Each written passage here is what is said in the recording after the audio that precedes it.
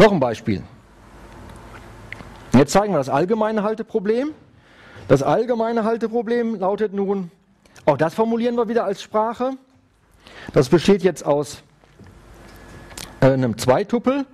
N steht für die Turing-Maschine, I ist die Eingabe für diese Turing-Maschine. N, also immer die Gödelzahl der Turing-Maschine oder Gödelnummer. So, und das ist die Sprache aller Zweitupel, sodass die Turing-Maschine N bei der Eingabe I anhält. Auch da ist die Aussage, äh, das ist unentscheidbar und auch das überlegen wir uns. Wir reduzieren jetzt das eben zuvor als unentscheidbar nachgewiesene Problem auf dieses Problem und haben dann auch die unentscheidbar von dem allgemeinen Halteproblem gezeigt. So, wir gucken uns dazu an. Ist f die Funktion, die ein i nimmt und abbildet auf das Zweitupel i,0. Die ist offensichtlich berechenbar. Ja, da schreiben wir nur sozusagen, stellen das etwas anders dar. So, und damit gilt, wenn i 0 Element von k0 ist, das heißt, ist genau dann der Fall. Ja, gucken wir uns das nochmal die Definition hier an.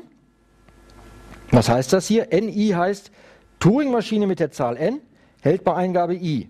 Ja, jetzt dürfen Sie nicht durcheinander kommen. Das i, was wir hier haben, ist jetzt gerade die 0 hier. Und das n, was wir hier haben, ist das i hier. Das heißt, die Turing-Maschine t mit Gödelzahl ist gerade i hält bei Eingabe 0. Ja, das ist nur die Aussage hier. Ja, und das ist aber gerade unser Nullhalteproblem. Ja, das heißt, das ist genau dann der Fall, wenn i-Element h0.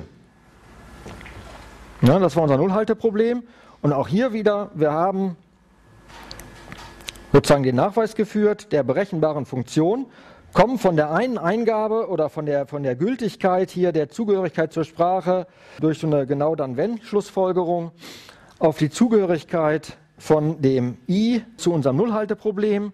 Das heißt, damit ist der Beweis schon geführt.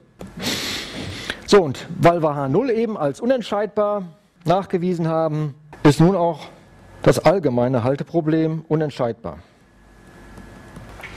So, wenn Sie jetzt verschiedene Bücher zur theoretischen Informatik aufschlagen, gibt es ja noch eine ganze Reihe weiterer Probleme, die man als unentscheidbar äh, charakterisieren kann. Ja, und äh, da findet ganz häufig dieses Reduktionsprinzip Anwendung. Also das ist relativ mächtig. Ja, der Beweis ist ja hier relativ einfach, weil wir halt sozusagen mächtiges Instrument, äh, diese Reduktion mit einsetzen.